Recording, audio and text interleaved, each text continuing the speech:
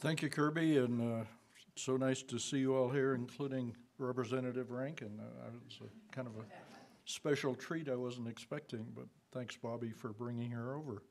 Does she reside at the governor's mansion? In spirit. In spirit, okay.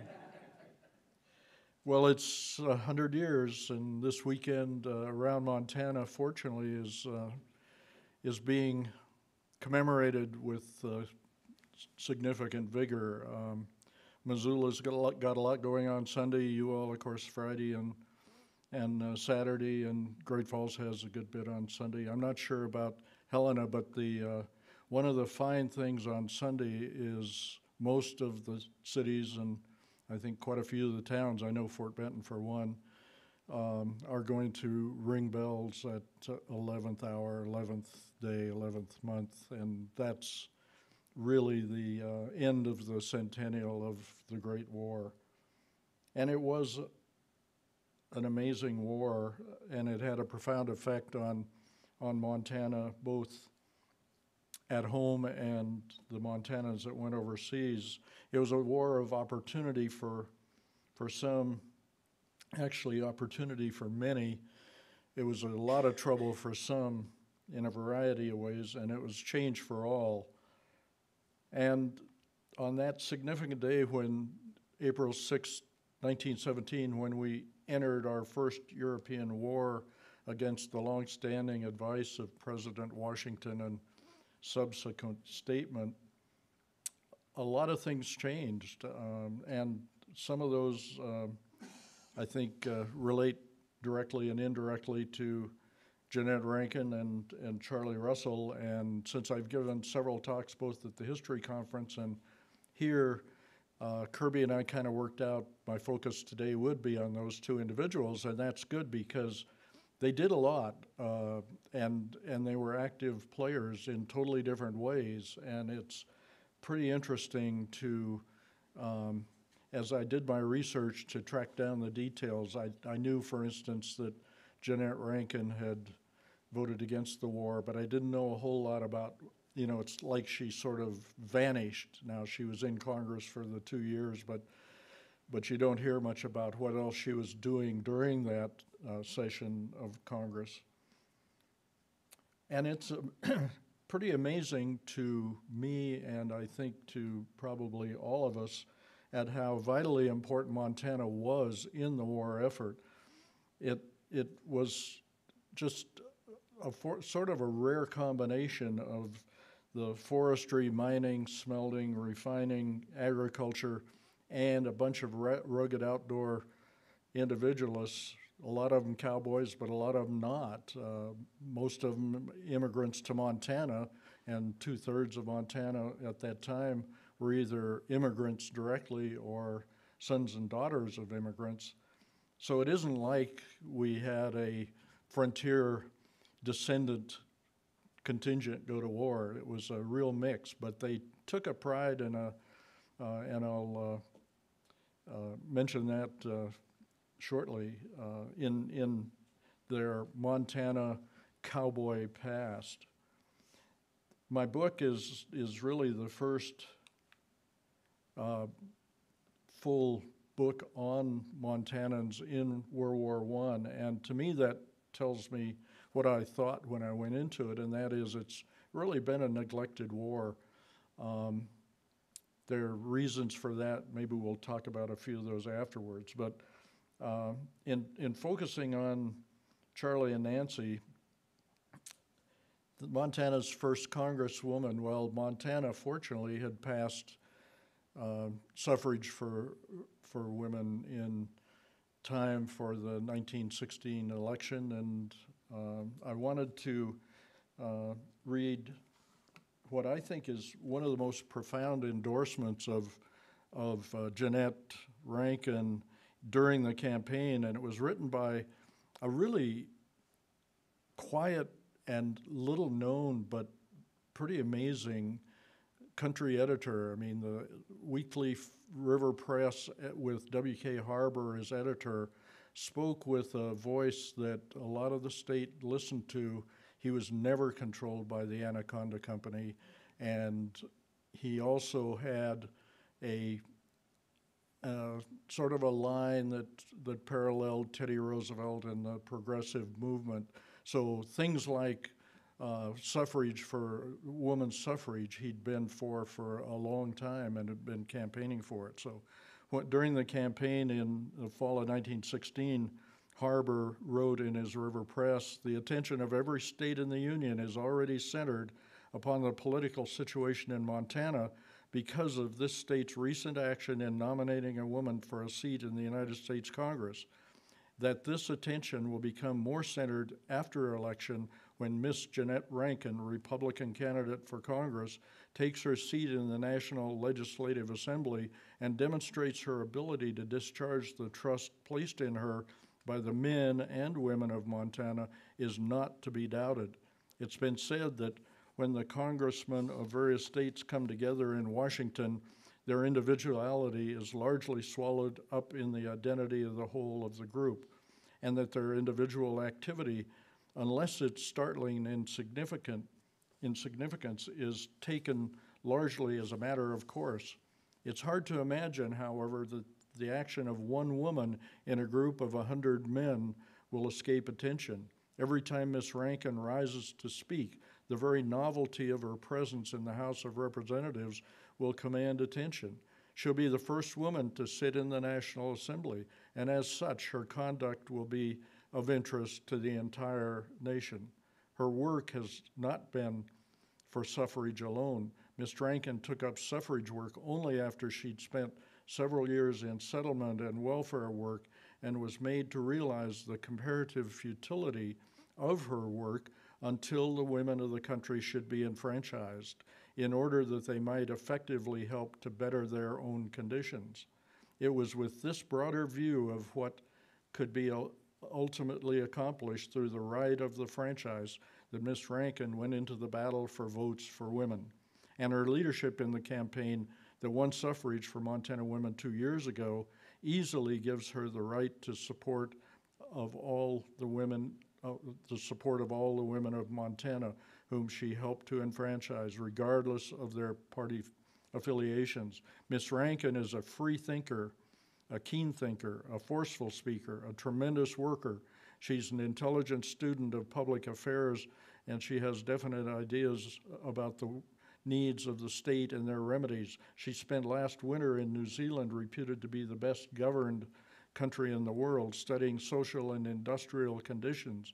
And she's made a personal and intensive study of conditions in almost every state in the Union and in every county in Montana. It would be difficult for Montana to choose a better representative. And they did choose Jeannette Rankin and sent her off to Congress. And the 2nd of April, when she uh, went down the aisle with uh, on the on the arm of uh, the, Montana's other representative, uh, John Morgan Evans. Of uh, uh, she was cheered and and actually cheered a series of times and. Uh, what uh, Harbor had predicted was certainly the case. And oh, by the way, she became a rock star around the country too much more so, I think, maybe than in Montana. So she, uh, she arrived and uh, went to work uh, four days after she went to work, of course, on uh, the night of uh, April 6th. Uh, President Wilson had asked for a declaration of war, and she joined others in voting against, against the war. Um, and, and that, as I mentioned, was about my knowledge of Jeannette Rankin's term in Congress. Well, it turned into a much more productive uh, uh, two years than, than that.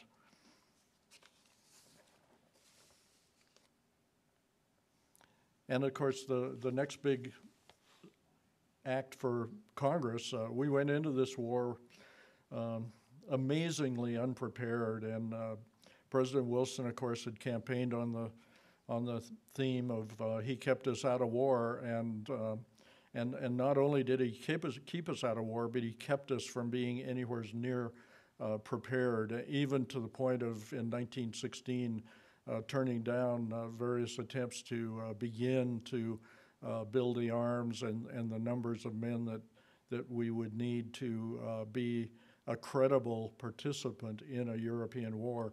Uh, many of you know, but I'll just remind those and tell others that our total standing army and state guard numbers in 1917 totaled 300,000 men. It was split almost evenly between the two.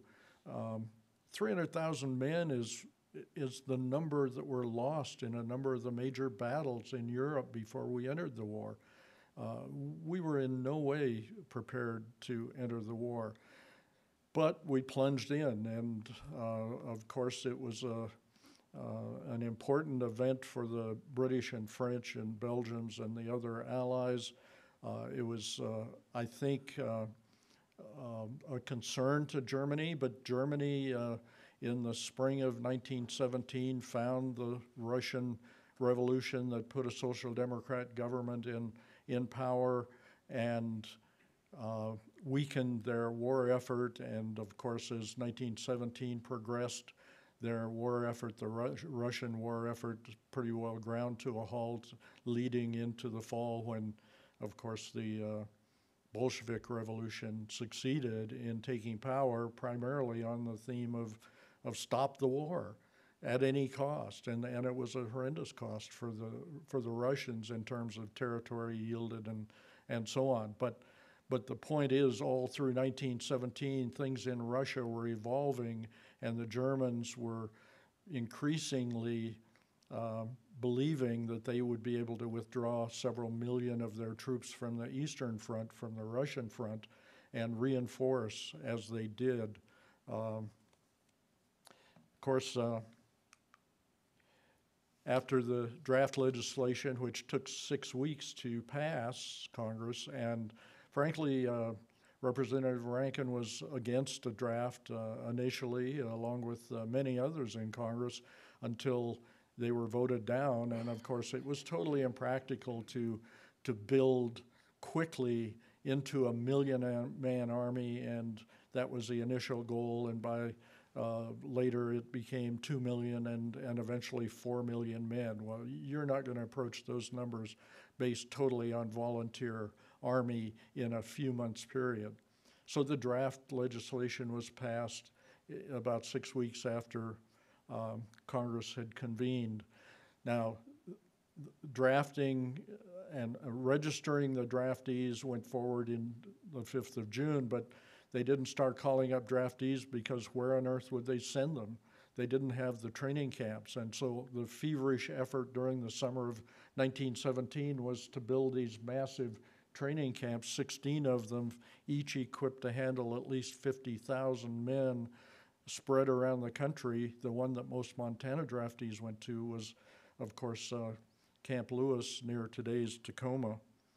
So the Montana cowboys and miners, foresters, farmers, and and a good many women, as a matter of fact, uh, and we'll get into that, uh, went to war over a period of time, and their battle cry was Powder River, let her buck, and it, it was a little bit ironic that that was already the battle cry for the 2nd Montana Infantry right here at Fort uh, William Henry Harrison, but uh, it also, uh, because it resonated so well, uh, and the Montanans were such a, a, powerful, enthusiastic bunch at Camp Lewis, it resonated and, and it was picked up by the draft division at Camp Lewis that was being formed. The 91st Wild West Division adopted that Powder River Letterbuck uh, battle cry as well. Now, Camp Lewis was a sprawling city, and yet there were a few parts of it that were uh, of, of greatest interest to Montanans, and and uh, one of those, uh, probably the most popular, was the remount station. Now, the remount station, uh, you don't hear a whole lot about, but it was extremely important. That's where the tens of thousands of horses were received, and they had to go through their medical checks, and they had to go through training, and they had to go through basically the same procedures as the men were doing to get those horses ready to go overseas. And even though this was a mechanized war and the beginning of things like a tank corps and uh, different types of uh, arms based on, on uh, uh, power uh, and trucks and automobiles and so on. It was still a horse-drawn war in so many ways. So Camp Lewis had this remount station, and the head of it, uh, appointed head, was uh, Captain uh, Joseph W. Jackson, who was one of these great cowboys. He'd known Teddy Roosevelt, he knew Charlie Russell, he was from the Dakota Montana border area, and he was Captain Jackson was put in charge of the uh, remount station. And very early on, uh, Charlie Russell, who was uh, um, anxious to do something symbolic to support the war, Charlie took one of his paintings and um, sent it off to Captain Jackson at the uh, remount station to bolster the morale of the Montanans and the other Northwestern troops that were there. And of course, uh, Nancy was also active. Nancy was working in support of the Liberty Loans. She, she was either the co-head or the head of the women's division of each of the four Liberty Loan divisions during the war. Um, them Out was Charlie's painting. It was one that he already had done. I've seen a photo from 1914 of his studio. No, it was 1916 of his studio, and uh, there it is uh, hanging on the walls. But uh, he sent it off to um, to Captain Jackson along with the and asked him to uh, share that with the troops. And and in fact, Jackson did. He as you can barely see there over the fireplace at the assembly hall in the remount station, that painting hung for the duration of the war. Charlie sent it off, and, and he had uh, one of the usual Charlie great letters, uh, in essence saying, I don't know a whole lot about modern war because they were in the blue and they were fighting Indians and so on in the in the wars I know about, but but here's what I can do for you. And oh, by the way, at the end of the war, if you get rid of this painting, make sure you get at least a thousand dollars for it. so Charlie's uh, Charlie's uh, letter is is in my book, along with the story of uh, of how he got it there and what Captain Jackson did with it. Uh, And of course, much of Montana's anti-war sentiment bubbled on the surface through labor strikes and stoppages in Butte, and and it was it was so serious because uh, Butte copper uh, was extremely important to the war effort. Both the both the smelters in in Butte and Anaconda, and the mines in Butte, and the refineries pouring out miles and miles of copper wire in Great Falls uh, were extremely important to the war effort. And when the Congress took its first break in the session in August of 1917, uh, Jeannette made her first trip back to Montana. And uh, she had tried during the campaign to, to have a big public event in Butte and, and wasn't successful, but uh, this time she was, and on the uh, uh, Saturday afternoon, August 18th, uh, right after big events like Frank Little's hanging and the, the horrible murder of uh, that IWW troublemaker and organizer, uh, Jeannette Rankin was there at Columbia Garden giving a a speech to the, uh, to the miners and their families. Uh, the speech, to my knowledge, has never surfaced before. It was, uh, I've been told that she didn't write much uh, on her own. Her speeches were either written for her, but she would make changes. And uh, just before my book had to go to the publisher, manuscript had to go to the publisher, uh, Stuart McKenzie from Chinook, who deals in lots of very interesting Montana uh, memorabilia and paper material, uh, told me that he had the speech that she gave at Columbia Garden, and in, fact it was, and it had some of her handwritten changes on it. He will eventually give that to the Silver Bow uh, Butte archives, but in the meantime, he let me use a portion of it in the book, and she she gives a, a very eloquent speech. Uh, she had had trouble with the company because she had been lobbying with them to drop the rustling card system, and we don't have time to get into the complexities of of that tracking device the company was using for individual miners, but but she condemned that and she tried to bring uh, uh, the miners, some of whom were striking, back to work. It, it was just a mess in the summer of 1917 in, in Butte, and Representative Rankin was trying to do what she could. And so she, uh, I'll just read a short portion of, of, of, of that speech she gave, but she said, I'm glad to be in Montana. I was thrilled at the reception and she had had a huge reception at the train station when she arrived. She was charmed with the gallant policeman who protected the congressman from the enthusiasm of the constituents. During the suffrage campaign, one of my fondest hopes was to have a huge mass meeting at Columbia Gardens. While my dream did not come true at the time, this meeting far surpasses all my hopes to the size. And there were varying accounts, but let's say maybe a solid number was 6,000 were there at Columbia Gardens listening to her. I've been in constant attendance in Congress, although there have been many days when there was scarcely a quorum present. I have hesitated to leave Congress for a moment, for when I leave Congress, all women members leave Congress. this great war might have ended without our being conscious of the part copper played in it had we not been suddenly confronted with a shortage in production of, of, uh, of copper. And, and I've just got a few excerpts from her speech, but carried along on the waves of misguided patriotism have some subtle attempts to destroy the industrial standards of this country, standards which have been wrought with so much toil and strife and suffering during the last half century. But it's also a misguided patriotism that believes that direct action has a place in civilized society. I have not, I have not patience with that spirit which seeks to destroy property to satisfy personal grievances or in the thought that direct action can right existing wrongs.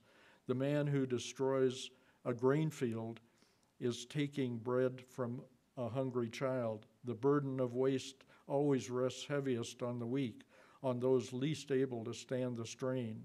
I have no patience with the alleged utterances of Frank Little, but I have the greatest contempt for that form of direct action that permitted the foul and cowardly murder of Frank Little, and so on. She goes on and, and then pleads with the copper miners to, you know, th- th- they were so important to the war effort and to persevere and to, to settle their differences and, and make sure they get back to work.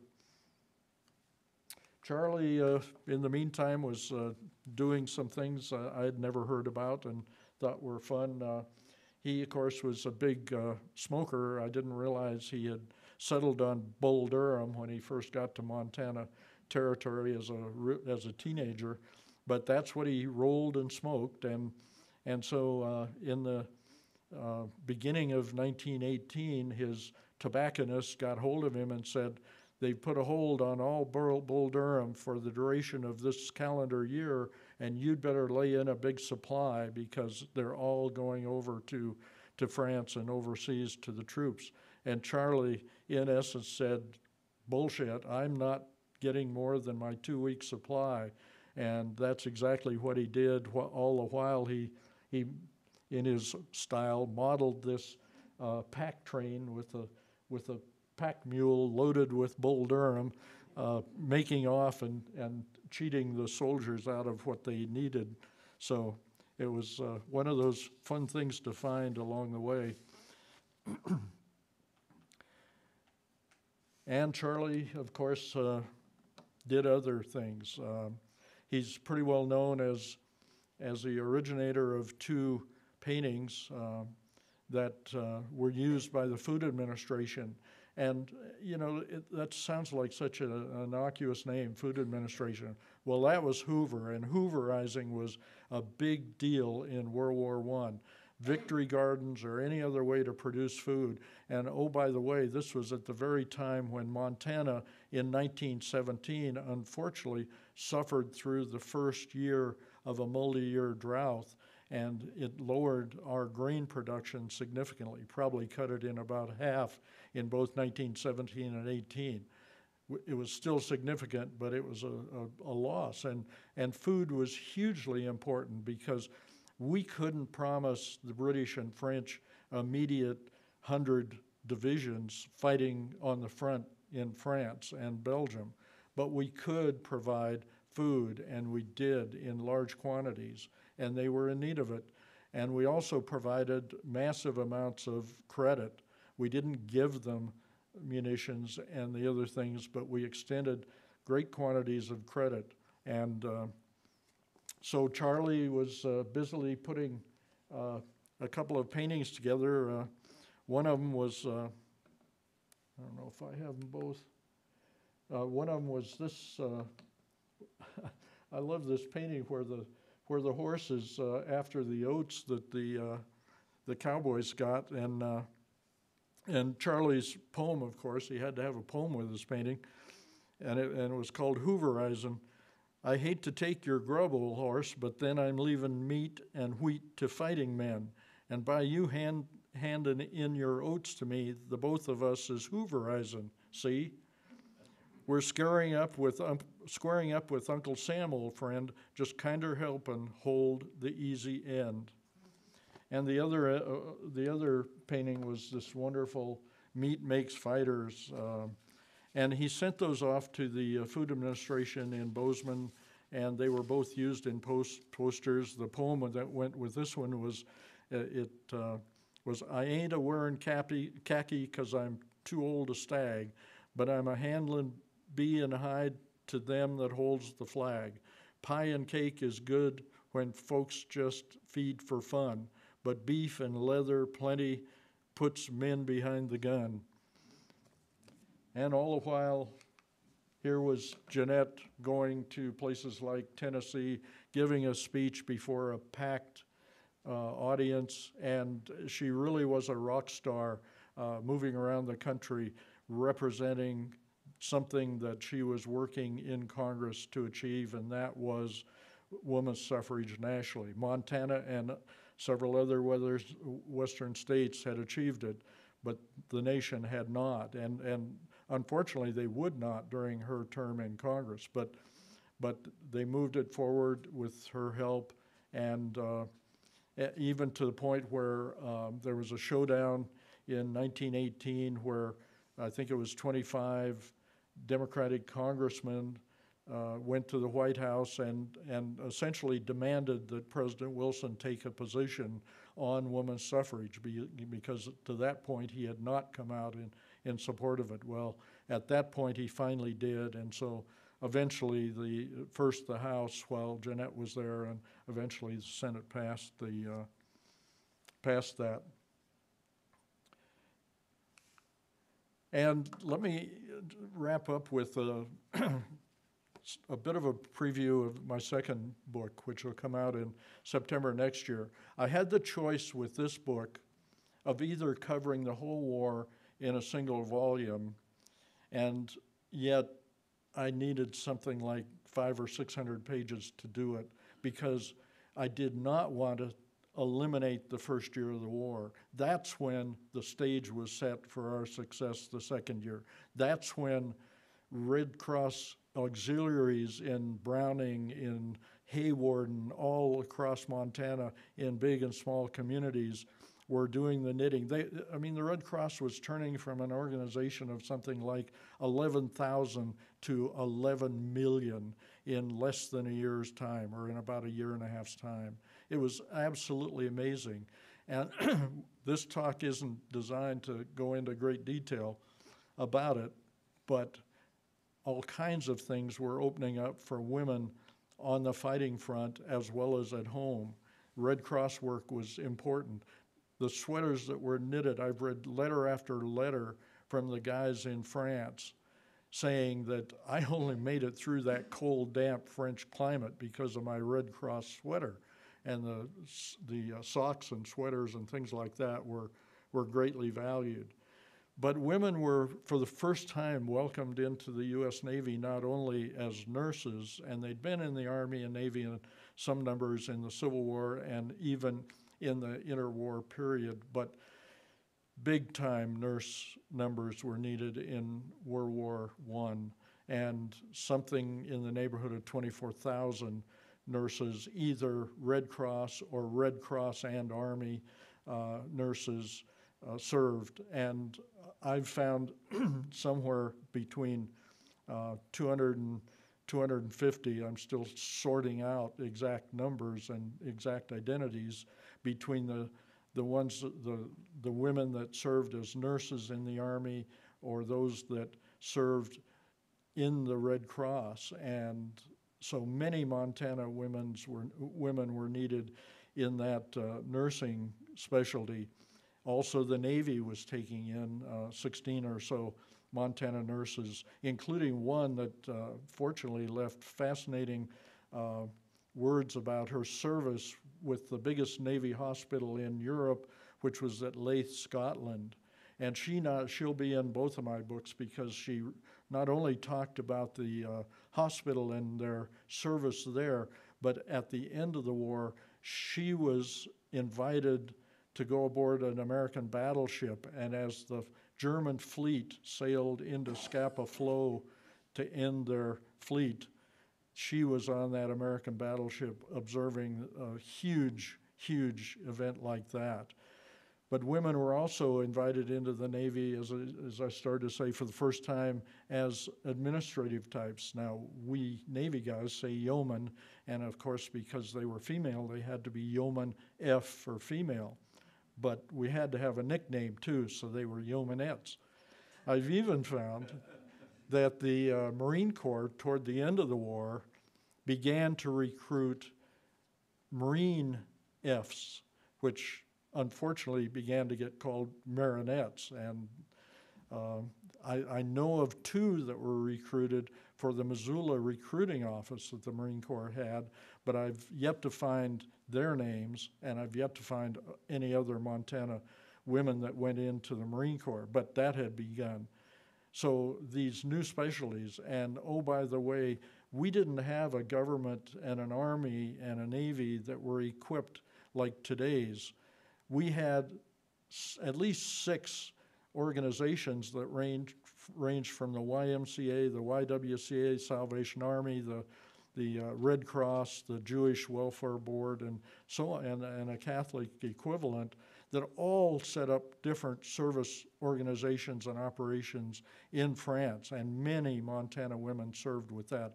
I really believe overall there were probably at least 350 Montana women that served overseas, and uh, uh, some of them you've never heard about, and yet they were doing it. Eddie Can there was no USO, the United Services Organization, to go over and entertain the troops. So Eddie Cantor and a group of entertainers organized the Over the Theater, Over There Theater group, and they recruited two Butte women who were very talented singers and entertainers, and so two Montanans were even in Eddie Cantor's Over There Theater group. So finding all this has really been a challenge. Also, uh, just just parenthetically, finding the names and numbers of the Native American warriors that went over. Uh, two Native nurses did. Uh, they both served in the Army, uh, but uh, the Historical Society here has a, a really beginning of a good database that has a lot of service native servicemen in it, but they only identify about 66 in World War One, and at this point, I've identified at least 150. The major reason is that all of those sons and grandsons of fur traders and early settlers who were part Blackfoot or part Assiniboine, you know, so many, uh, they all went in as white in their uh, racial identifi- identification cards. So tracking down that has been a challenge. I, last year I did the same thing with African Americans. That was a, little easy. It was a lot easier because they all had the racial uh, identification on their Army cards, uh, but the Navy didn't record race because it had been interracial since the War of 1812. So anyway, getting getting back to just a, a bit of a preview. This is a wonderful Charlie Russell illustrated letter, uh, one of two that I've found that uh, had uh, World War I battle scenes. And here's the battle scene. This will be on the uh, just as Smoking Them Out is on the back cover of my first book that covers the first year of the war. Uh, this uh, battle scene will be on the second book. And I guess with that, uh, as we approach the 11th hour, 11th day, 11th month armistice ending, um, I, I hope that uh, a lot of you will find a, a way to ring bells at the 11th hour to commemorate the end of that very short for America, very long for Europe, brutal war. But uh, with that, I'll close and be glad to answer some questions and then sign some books for Rod outside the uh, gift shop.